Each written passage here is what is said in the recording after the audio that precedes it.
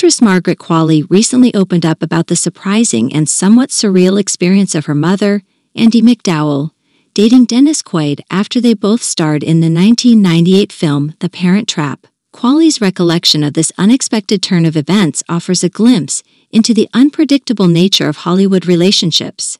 In a candid interview, Margaret Qualley shared her memories of the time when her mother, Andie MacDowell, started dating Dennis Quaid. It was a period marked by a mix of shock, amusement, and curiosity for the young actress.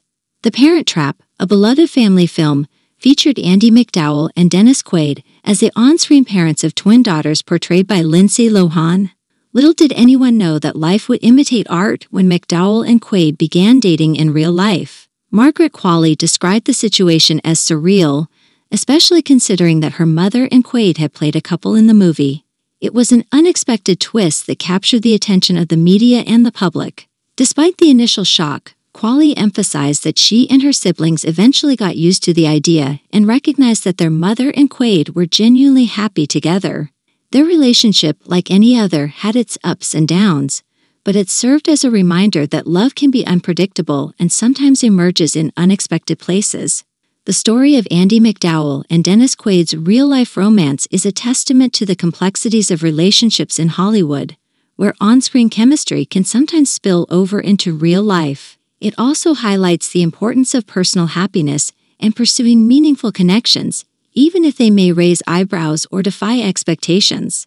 Margaret Qualley's recollection of her mother's relationship with Dennis Quaid offers a unique perspective on the entertainment industry's penchant for creating intriguing and often surprising headlines.